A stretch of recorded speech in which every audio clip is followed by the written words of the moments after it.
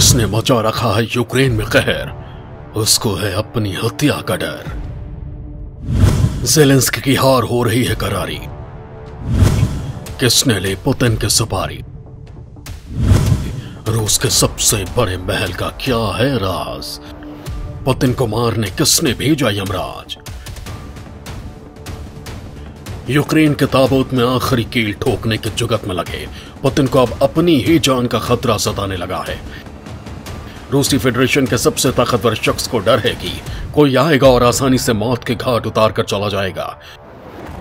Vladimir को भनक लगी है कि एक छोटी सी जहर की पुड़िया उन्हें यमराज तक पहुँचा सकती है। रूसी खुफिया एजेंसी को शक है कि महल के अंदर ही कोई है जो पुतिन को दर्दनाक मौत देना चाहता है।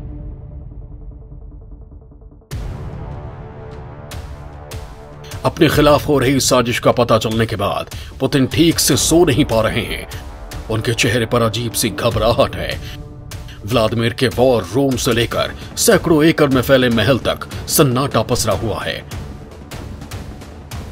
बड़े जनरलों से लेकर सेवादार तक सब खामोश हैं। उस दुश्मन की तलाश की जा रही है जिसने हथियार के ढेर पर बैठे पुतिन के खिलाफ जहर वाली काली साजिश रची है।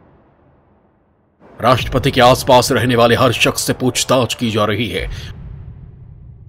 अपनी सुरक्षा को लेकर पुतिन कोई भी रिस्क नहीं लेना चाहते, इसलिए उन्होंने अपने महल के एक हज़ार नौकरों को निकलवा दिया, जिन लोगों को हटाया गया, उनमें निजी बॉडीगार्ड कुक कपड़े धोने वाले शामिल हैं।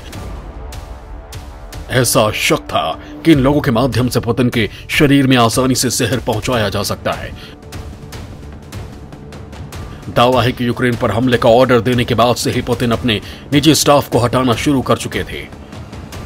इतना ही नहीं, हटाए गए लोगों की जगह पर काफ़ी भरोसेमंद लोगों को रखा गया है ताकि जहरीली साजिश को बेनकाब किया जा सके।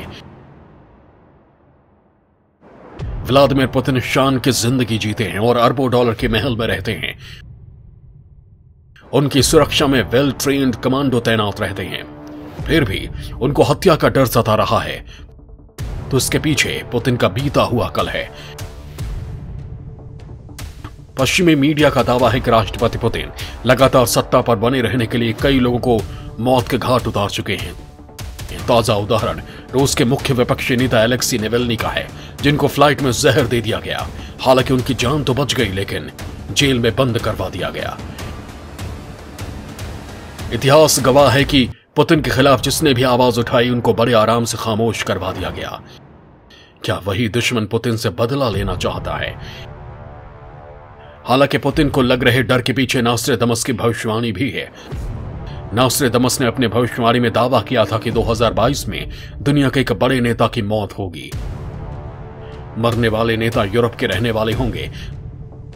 जहाँ तक रूस की बात है तो इसका एक हिस्सा यूरोप में है। नास्रे दमस के सटीक भविष्यवाणी को देखते हुए पुतिन का डर वाजिब है।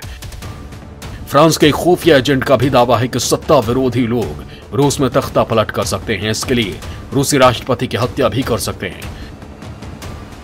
कई रूसी अधिकारी जो सत्ता विरोधी हो गए हैं, उनको जहर देकर मारने में एक्सपर्ट माना जाता है, क्योंकि रशियन इंटेलिजेंस इकलौती ऐसी एजेंसी है जो जहर का इस्तेमाल करती है।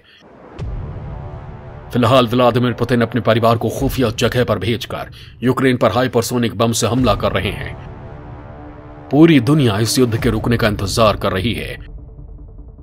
तो पुतिन को अपनी जान की फ़िक्र है। National desk, news live.